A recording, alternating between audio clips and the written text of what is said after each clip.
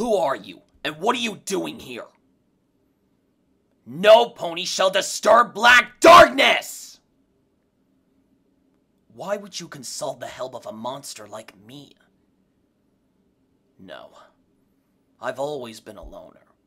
Besides, no pony needs me anyway. What are these things you call cupcakes? This is a nice jester. Thank you, Twilight Sparkle.